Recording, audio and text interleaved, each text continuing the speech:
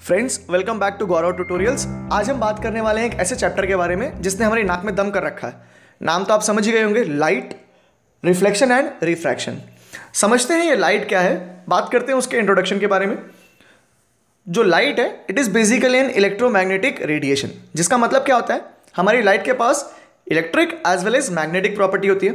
And when it moves it moves at a speed of three into ten to eight metre per second काफ़ी ज़्यादा है भाई। ठीक है, जो लाइट है वो है नॉन मैकेनिकल वेव इसका मतलब क्या होता है? वेन इट मूव्स उसको मीडियम की ज़रूरत नहीं है.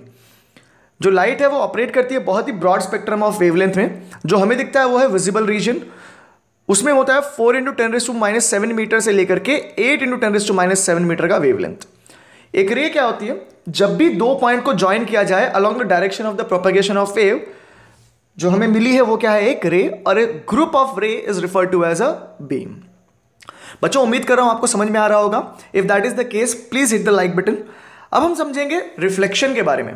तो रिफ्लेक्शन क्या होता है? बड़ा सिंपल है। आपने करना क्या? आपने लेनी है बॉल और दे मारनी है दीवार के ऊपर। क्या होगा? टकराएगी और वापस आएगी।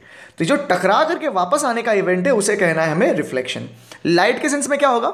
The returning of light from surface after the light is incident on the surface मतलब लाइट जब सर्फेस पे गिरती है और टकरा करके वापस आती है, हमें एक इवेंट देखने मिलता है, जिसे कहा जाता है रिफ्लेक्शन क्या है? आपके पास एक सर्फेस है।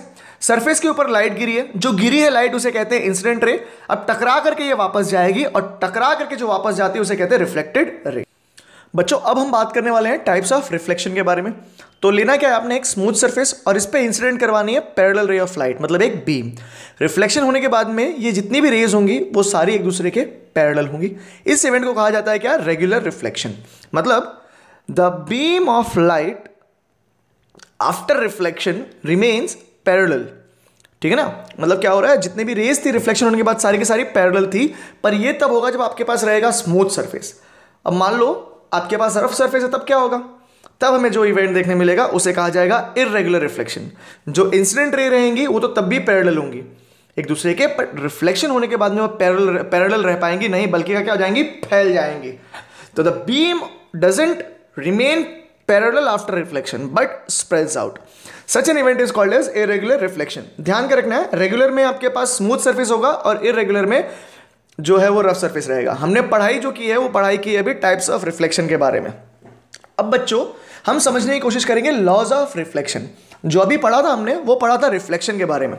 अब समझ रहे हैं हम लॉज ऑफ़ रिफ्लेक्शन तो लाइट के रेस्पेक्ट में कुछ नियम बनाए गए, कुछ कायदे कानून बनाए गए, वो समझ रहे हैं।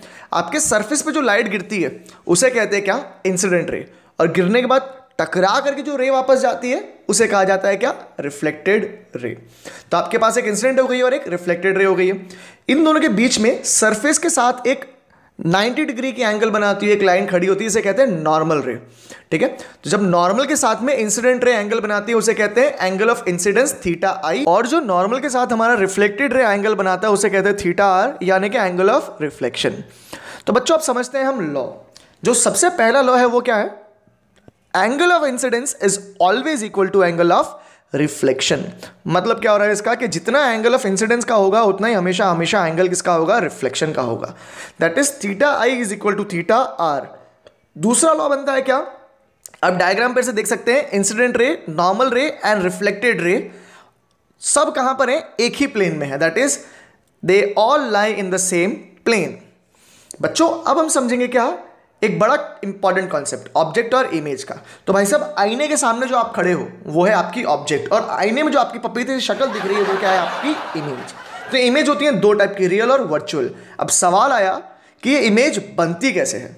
समझेंगे एग्ज़ाम्पल के द्वारा। देखो, आपकी इमेज कैसे बनेगी?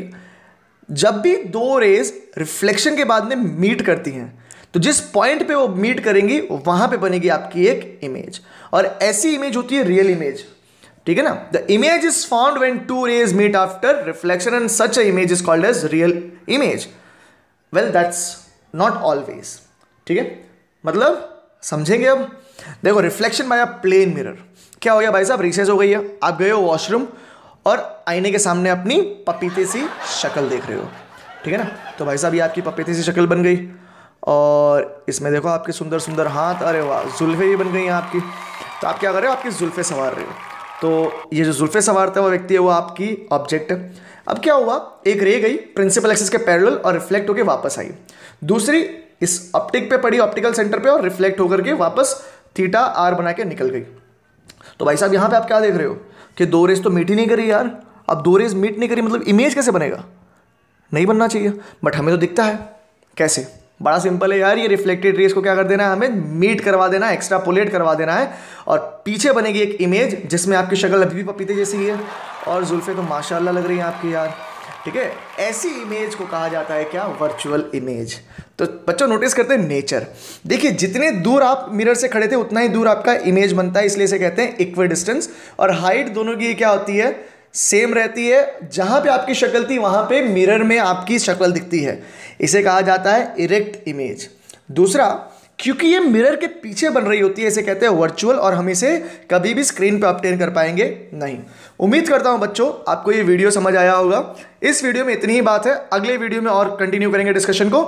Thank you very much hit the like, share and subscribe button. You can also connect with me on facebook from the given id thank you very much.